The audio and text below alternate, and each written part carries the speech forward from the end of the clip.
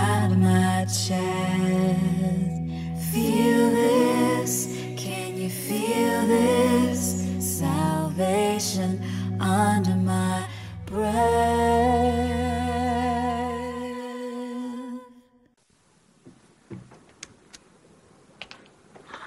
It's about time. What? Not that you realize that, you know, you can't go it alone. That even the great Jeffrey O'Neill might need a little help winning every now and then. Didn't win this time.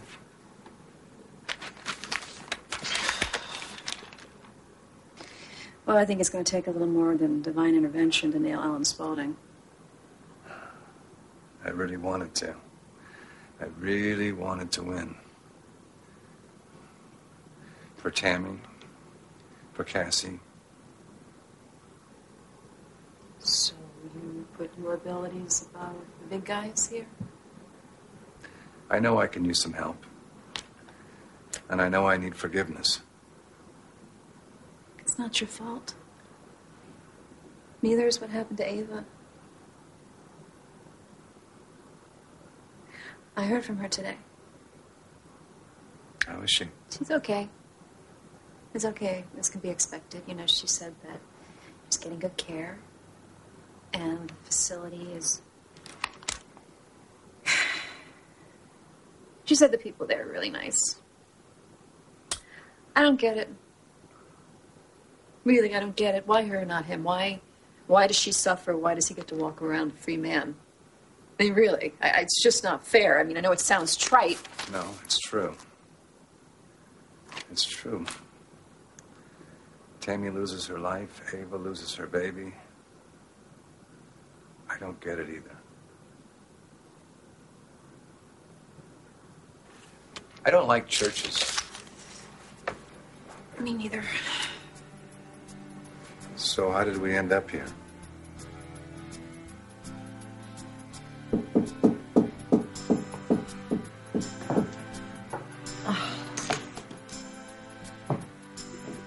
Good Morning. I have fresh squeezed orange juice and danishes. That is so weird because I was just making a list for the grocery Yeah, store. can I come in? I don't think that's a good idea. I have apricot danishes in here. You had to go three towns away to get that. I know, because in this town they only have cherry and cheese. I like cheese. But your favorite is apricot. I didn't order Danish. yes, but you're the one who loves surprises. It's hot outside. Well, then maybe you should get back in your car and crank up your AC. Excuse me. Joshua. It, it, Hey, is Jeffrey here, by the way? Because I didn't know what his favorite flavor is, so I brought him cherry. he's at the church, Reverend. How is he? Well, he was upset that he wasn't able to put Alan away, and he is mourning his grandson and missing his daughter. He's got a lot going on. Well, then you should let me take care of you. what happened. But I was meant to be free.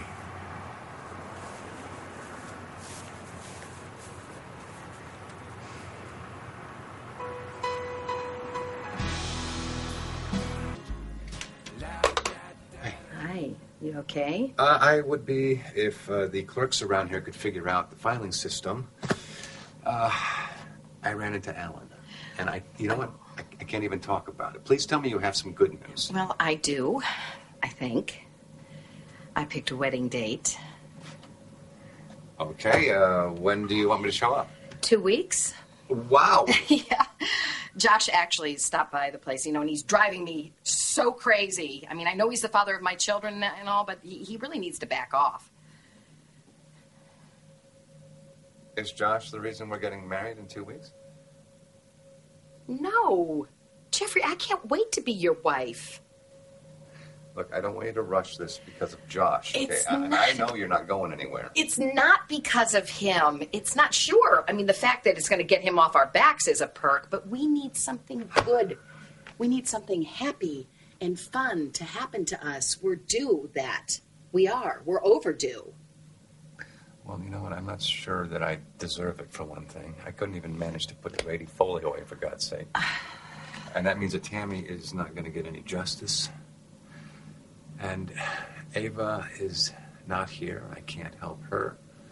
And I couldn't help Max. And I can't even put a case together to get Alan. Why not? Well,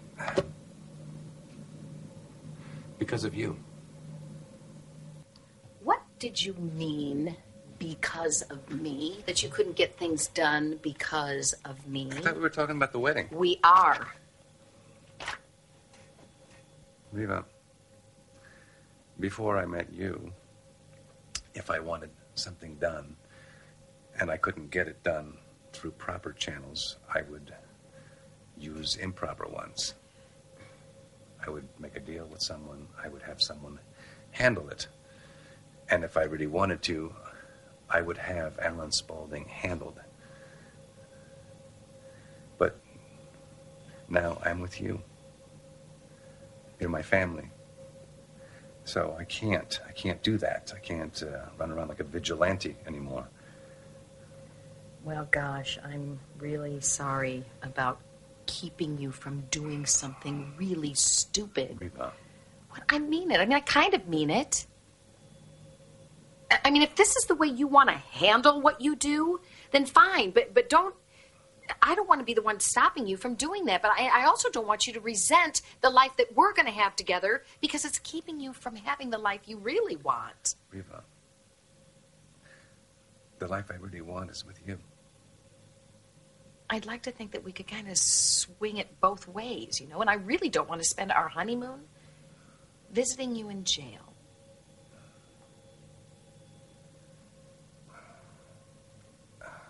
I, I have to, um, I have to think. I can't think here.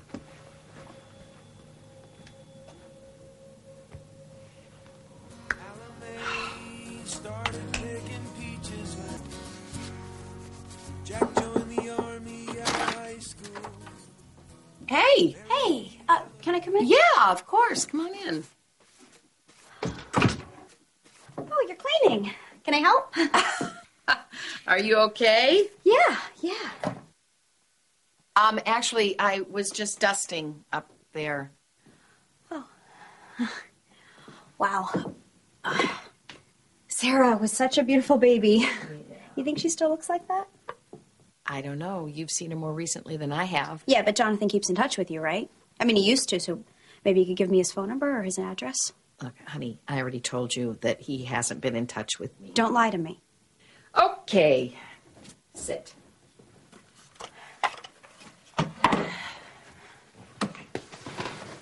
What's going on? You're the only other person that cares how she is or where she is, and I think she needs to come home now.